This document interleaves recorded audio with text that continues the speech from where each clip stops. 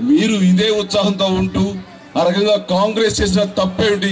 మిగతా వాళ్ళు చేసిన ఒప్పేమిటి? ఇది గనక తప్పని జరిగితే గనక ప్రతి ఒక్కరిని తప్పే. అందరూ నిర్ణయం తీసుకున్న తర్వాత ఒత్తిడి ఇచ్చిన మేరకు అప్పుడు కాంగ్రెస్ తప్పనిసరి ఈ విభజన ఈ విభజన చేశారు.